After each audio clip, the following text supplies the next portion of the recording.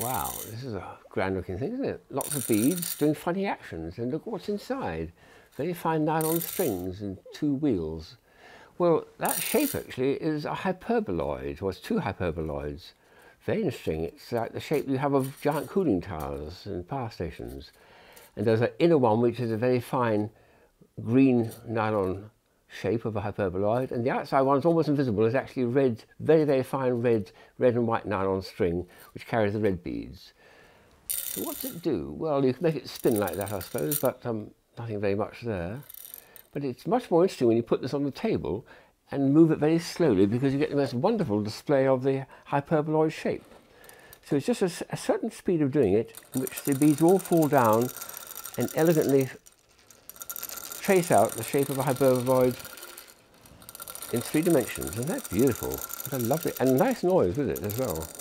Put my hand over it to steady it, it makes it go more smoothly. If it goes too fast, it won't perform nicely, but at a certain speed, it's most elegant. And also, if it is a slight angle like that, see how the red balls are coming off the top layer of the of the wheel, and then gathering at the bottom as well. That's a very nice depiction. It really is a little bit of poetry, I think. So how do we make this? Well, we actually start with a kit. That's a completed job, and this is what we actually sell as a kit. It consists of two wheels and a spoke in between them, the beads. They do actually include an extra set, just in case you want to be ambitious and do something else.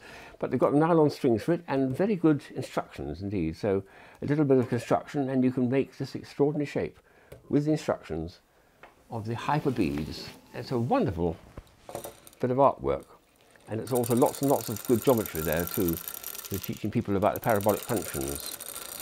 The hyperboloid is one of the rarest actually of them, and this is a lovely depiction of the hyperbolic curve.